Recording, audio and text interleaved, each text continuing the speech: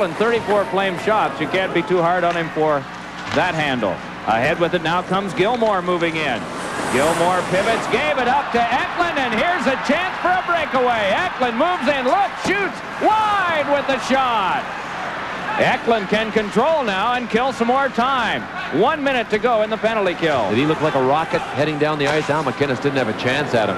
Well, he wore number nine, too, just like Richard. Pelle the Rocket Eklund.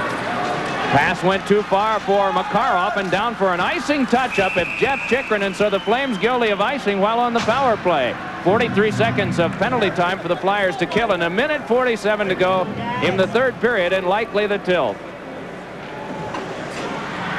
Boy, what a strong effort by everybody in orange and black here tonight. Eklund with the steal, kind of a drop pass, and he just rocketed down the side.